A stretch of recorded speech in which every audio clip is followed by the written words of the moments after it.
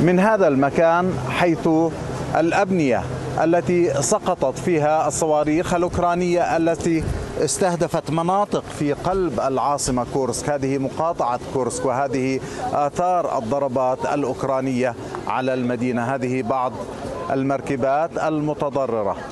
وخلفي هنا أيضا بعض المركبات التي أصابتها الأضرار. في هذا الموقع أصيب 13 مدنيا نقلوا إلى المشفى بينهم أطفال وبينهم حالات خطرة.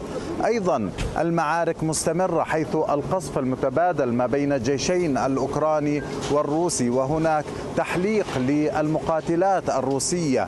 دائما في أجواء المنطقة كما أن صافرات الإنذار هنا تطلق باستمرار بعد الإنذار عن سقوط صواريخ أو اعتراض الدفاعات الجوية لأهداف في مقاطعة كورسك. لقناتي العربية والحدث رائد الاغبر كورسك.